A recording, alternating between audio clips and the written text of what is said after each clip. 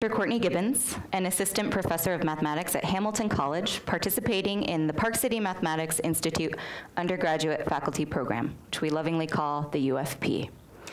Though I'm a mere epsilon compared to the giants on stage with me tonight, I have the distinct honor of having been chosen by the PCMI Steering Committee to moderate tonight's utterly fantastic PCMI debate. As you know, we live in unharmonic times, bimodally distributed between two sides that can't even agree on the facts. Here in the United States, and indeed globally almost everywhere, our societies are in a state of convolution and extreme polarization. The goal of this afternoon's debate is to get us all on the same frequency and to reintegrate these warring factions. Today, in this theater, we will sift through the lambdas, the moos, the news, the fake news, to finally decide the question of which is more important, E or pi.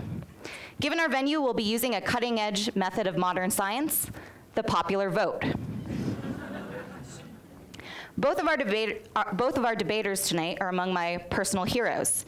They truly believe in the mission of Big Tent mathematics as so literally embodied here at PCMI by the big tent outside. But befitting our theme of equity and inclusion, these two middle-aged white men could not be more different.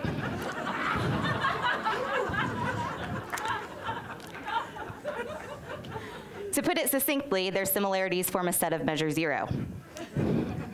Professor Colin Adams earned his PhD in mathematics before pursuing postdoctoral research and then joining the faculty at Williams College in the 1980s.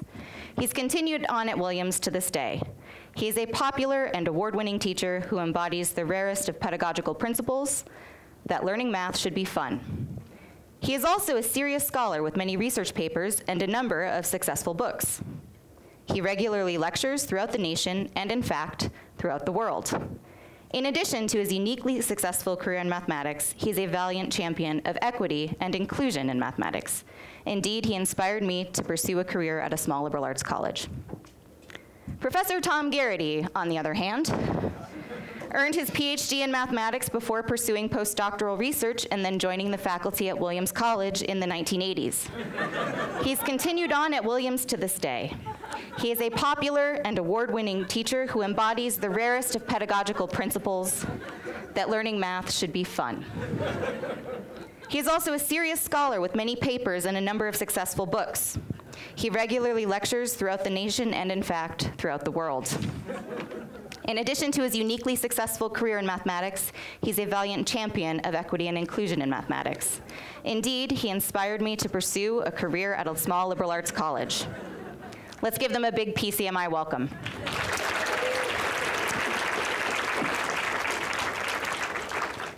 Professor Adams will argue on behalf of pi, and Professor Garrity will argue on behalf of E. Each will have seven minutes to present a formal argument on behalf of their constant, followed by a short rebuttal period, and finishing with concluding statements. The audience will then cast votes to decide, once and for all, which of these numbers is better. To determine which participant will start, Professors Adams and Garrity race to construct a stellated icosahedron out of Zome tools. Professor Adams, the floor is yours. Thank you. Thank you very much.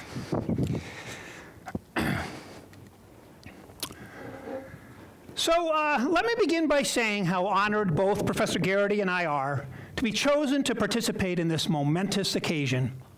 After thousands of years have passed in the history of mathematics, he and I will settle once and for all the question that has plagued humankind for generations, and we will answer this question for all the future generations of humankind. Which is the greater number, pi or e? And the two of us are humbled, truly humbled to be chosen for this task from among all the incredible mathematicians in the world today. The Andrew Wiles, the Terry Taus, the Grisha Perelmans of our age. Yes, they could have chosen any of them, but in fact, they chose us. When the representatives of the learned mathematical societies from around the globe held their conclave to decide who they should select for this debate, representatives from the American Math Society, the Mathematical Association for America, the Institute for Advanced Study, the Park City Math Institute, the Banff International Research Institute, the Mathematical Sciences Research Institute, and of course, the Latvian Society of Actuaries. They chose us. And I can only hope that we live up to this amazing honor. Second, I just want to say what a privilege it is to share the stage with my learned colleague, Professor Tom Garrity. The incredible respect that I have for his voluminous knowledge and his intellectual acuity is exactly matched by my respect for the attitude that he engenders by his careful thought, his gentle wisdom, and his dignified deportment as a faculty member. In fact, I know of no one who embodies more the essence of the teacher scholar, who thinks carefully before he acts, and who realizes at all times that he is a role model to his students and carries himself accordingly.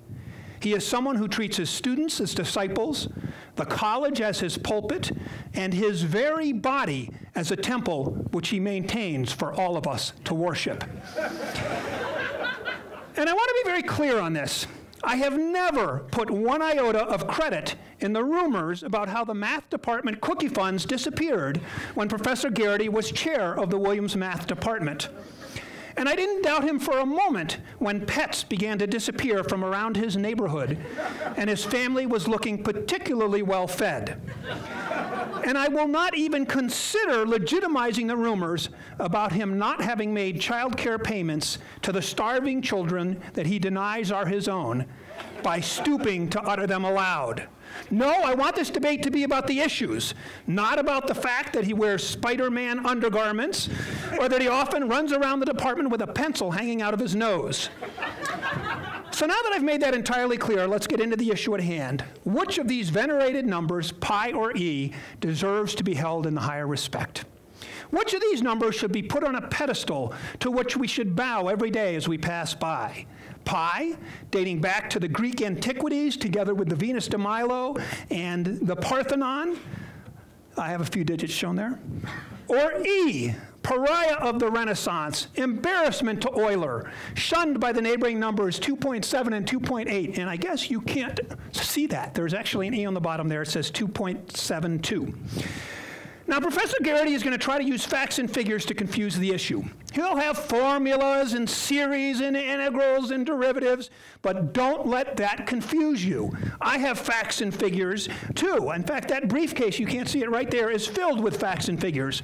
But this debate isn't about facts and figures. It's about, this debate is about what you feel in your gut. Which of these two numbers do you love more? Is it pi? Pi, which is simply defined as the circumference, oh, there's my E, sorry.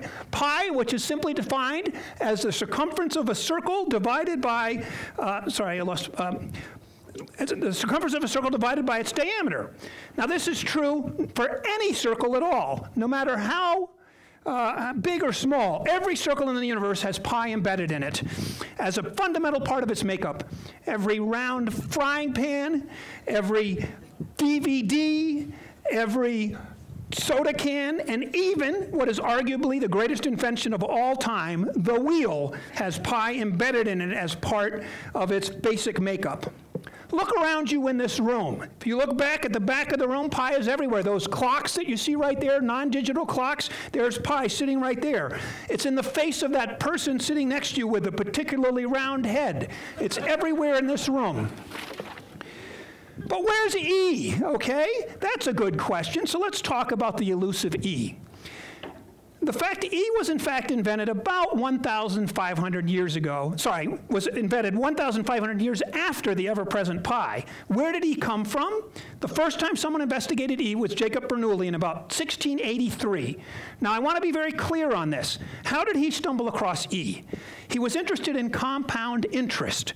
He wasn't investigating fascinating geometric properties, relationships that hold for every circle that has ever existed and that will ever exist. He was not looking for great truths of the universe. Oh no, he was probably strapped for cash.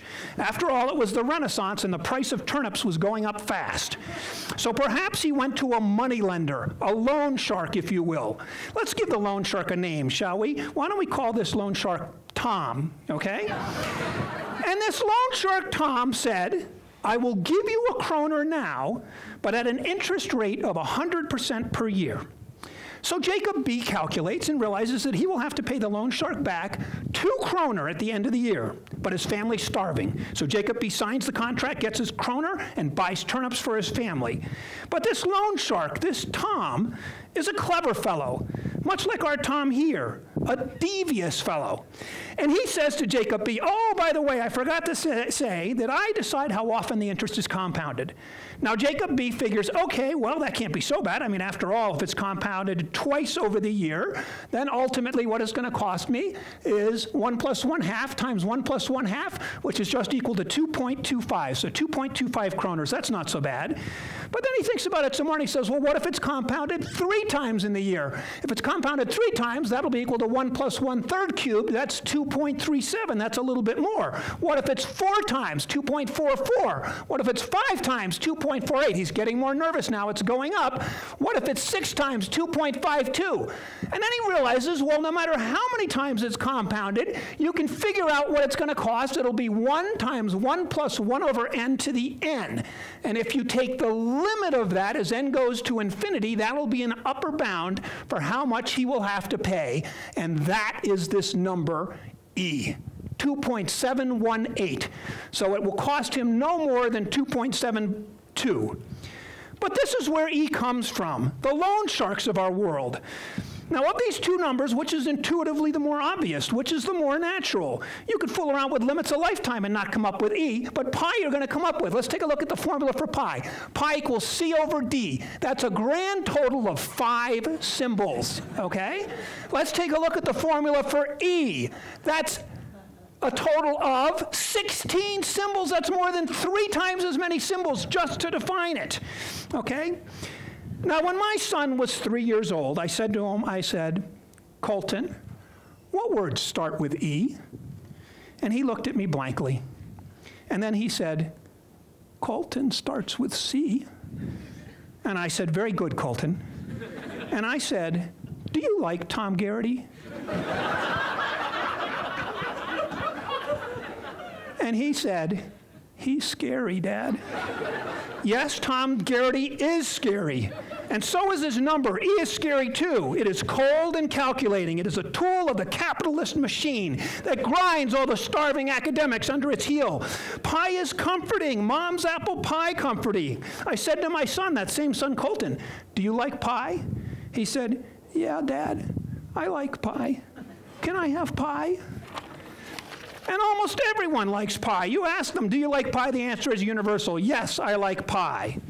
Now, I'm not going to bore you with a bunch of details about how much better pi is than E. Details like the fact the discovery of pi predated the discovery of E by thousands of years, or the fact that pi appears in the Bible incorrectly, but it's there. Okay?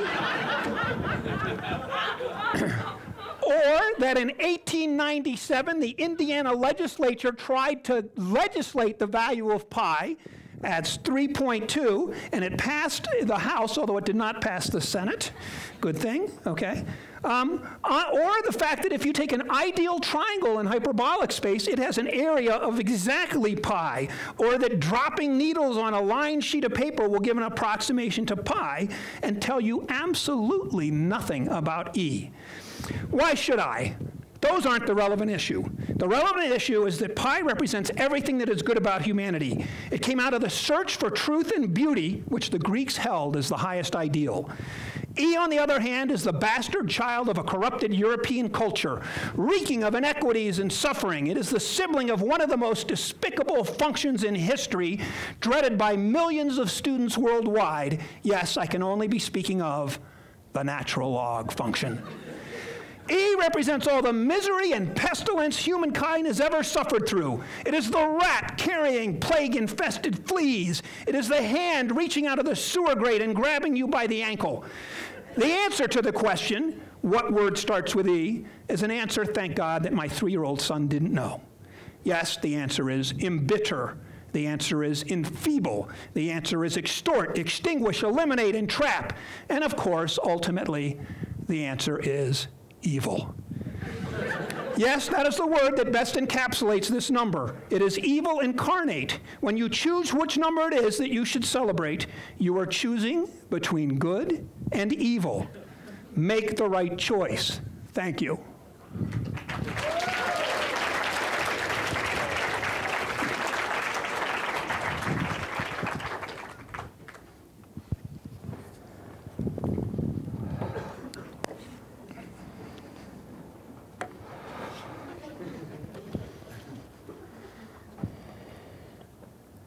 Um, it's kind of hard to see people from up here. And, and at first I, I thought that would be bad. Uh, but I'm glad I'm not looking at your faces right now. Um, we all here at PCMI, we all love mathematics. It's one of the great loves of my life. And if I could see your faces, I, I'd see the shame and the embarrassment at what Colin just did. E and pi are just numbers. They're not the great numbers. I like both. I, I, thought, when Rafe asked me, I thought this was going to be like a discussion of E and pi. And I come here and find out that it's a, a debate, and that, that disturbs me. Um, and not just a debate, something that, you know, an attack or, and, and filled with just cheap jokes. And for those of you who know me, know that cheap jokes is just not my style. I came here to discuss mathematics. Mathematics is the ultimate search for truth. It's what's important. It's what makes the world go. Math, it doesn't matter what's going on in the world. It doesn't matter how chaotic the world is. It doesn't matter who you are or what you are. When we come together and do mathematics, it's a blessing. That's why I came dressed as a mathematician. Sensible shoes, jeans, and an LL Bean shirt. Own a coat and tie. I can dress up if I need to to go to a wedding and funeral and not embarrass my family. But when it comes to mathematics, it does not matter what you look like. It just matters what's in your soul when you prove theorems. Sorry. Um, I'm still a little upset. Um, pi's a great number. I like pi. Colin, no doubt, likes pi as far as I can tell, everyone likes pie. Who doesn't like pie? Everyone loves pie. Even small children love pie. Pie is popular. If you have a popularity contest in the world, they'll all go pie, pie, pie. It is popular. But if we were interested in doing what is popular, we'd all be in a different line of work. We care about what's important. We care about what's significant. We care about what really counts. But pi is good. Colin was absolutely correct about pi. If you take any circle, measure its circumference, divide it by its diameter, you get pi. Take any circle, round and round, divided by its diameter, now you get pi. It's certainly more than merely cute. It's amusing. It's not that hard to find. Of course it was discovered in 500 BC. It's one of the first things that anyone would do looking at a circle. It's the obvious thing to do. It's the easy thing to do. But that's not why we're here to do what's easy. What it's comparing to, do you value the first person to name chair? Or the first person to discover an electron? Doing an electron is serious intellectual work. Finding a chair just means you can sit.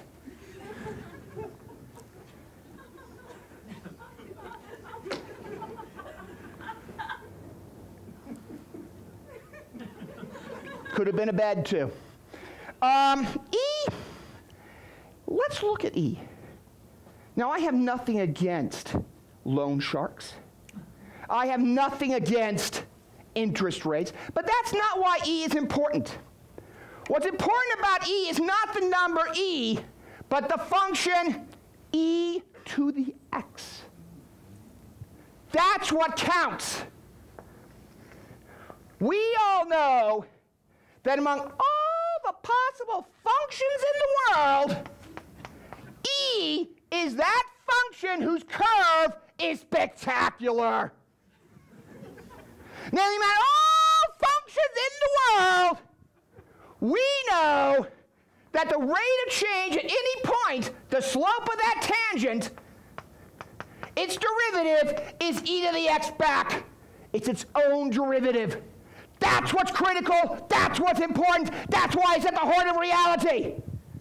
That's why any kind of intelligent creature throughout the universe would like e to the x. And consider its graph. Consider the way it just soars up into the heavens compared to a, tri- a circle going, eh, yoom, eh, poetry, drum. It's so beautiful. That's e to the x. Now, e to the x. So I assume a lot of you are sort of dweebish. Just a guess. I certainly am. And some of you read science fiction and like science fiction. And you speculate what would be the mathematics of an alien society? What would they do? They certainly wouldn't necessarily have things of base 10. We all know that. They certainly, some of the math we do is very contingent upon the human condition. But some things are intrinsic.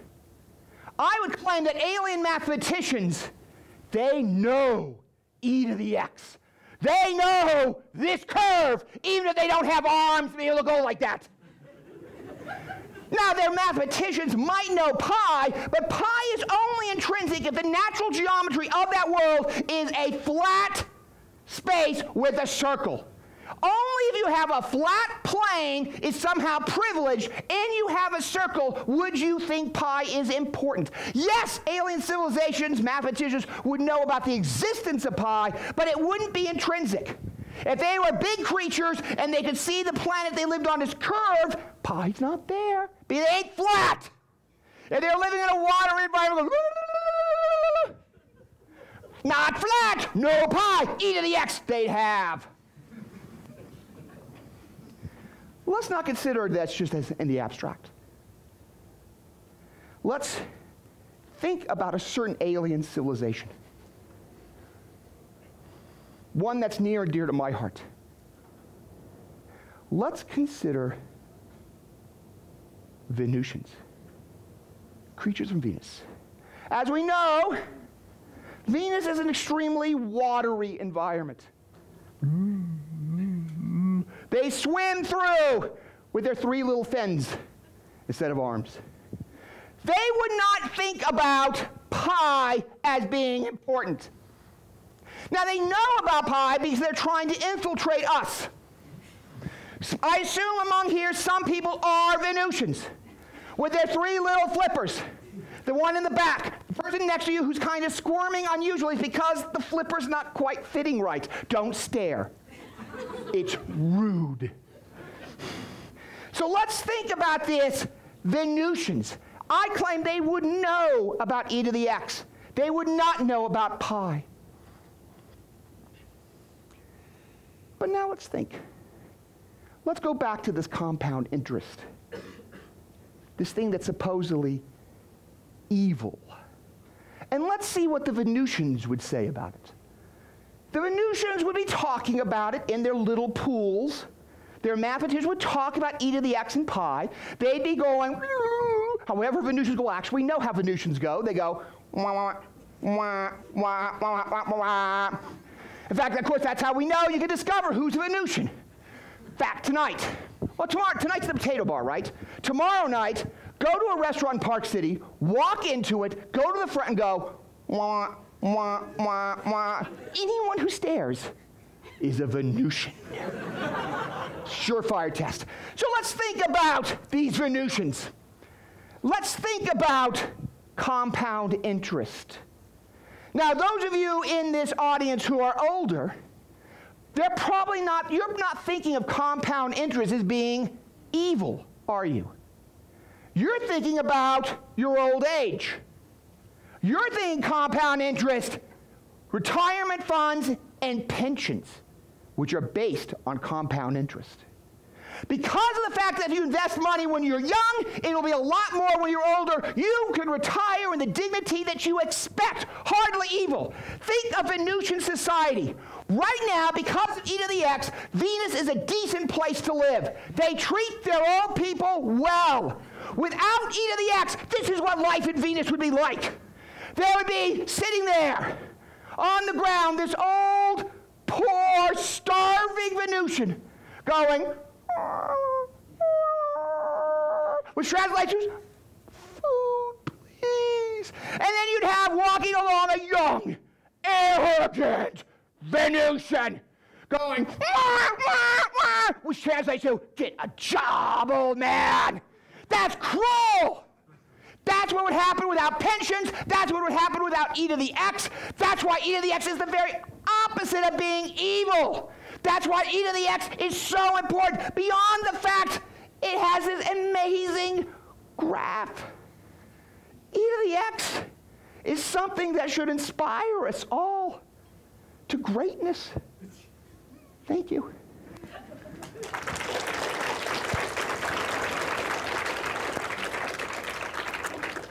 We'll now turn to the rebuttals, and we'll start with Professor Adams.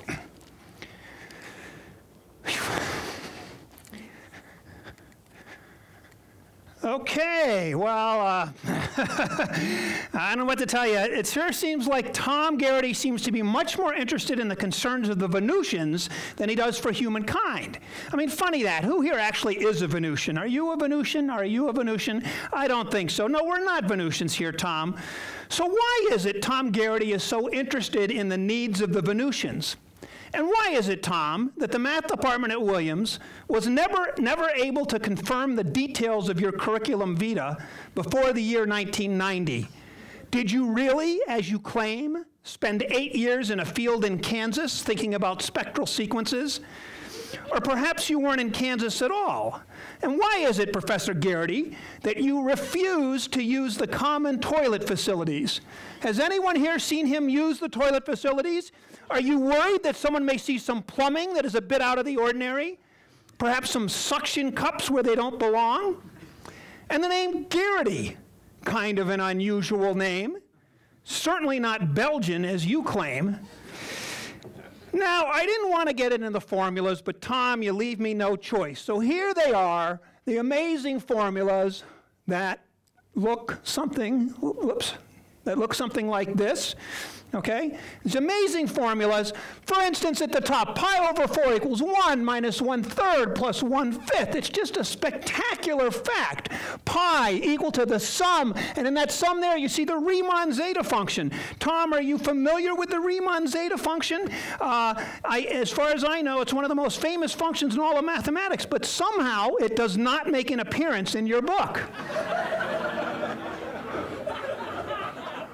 And here's some more formulas. You see all kinds of things there. Oh, look, Tom, there's the golden mean up there. Not in your book. So uh, let's see your formulas, Professor Garrity. Or were you too drunk last night to make up any slides?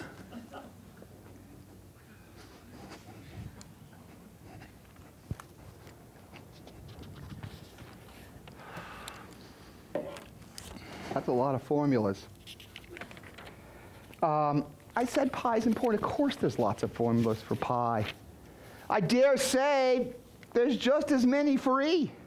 In fact, the ones for pi, now that I kind of think about it, they're really not hard to come by. Let's create one right now. Colin would claim this is significant. Let's start with, oh, let's try, let's put pi on this side equal to. Let's create a formula. A formula that if you do it very quickly would look impressive. Let's try. Can everyone see this in the back? Yeah. 1 plus 2 minus 3 plus 4 plus 5 minus 9. And now put in plus pi plus 10 plus 11 minus 21. And, ah! A new formula for pi! Oh, that's significant! Look, isn't it beautiful? Yeah, I'm impressed by these formulas. That's all that's going on here. E is what's significant. Think of what the formula for E is. E is equal to 1 plus 1 plus 1 over 2 factorial plus 1 over 3 factorial plus 1 over 4 factorial. That's a beautiful formula. That is stupid.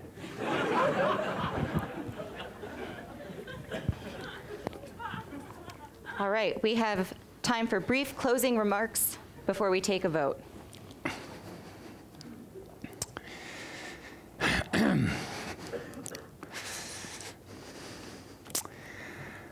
Tommy, Tommy, Tommy, how many times have I told you that illicit drugs would rot your brain? How many times? You don't know how many times, do you?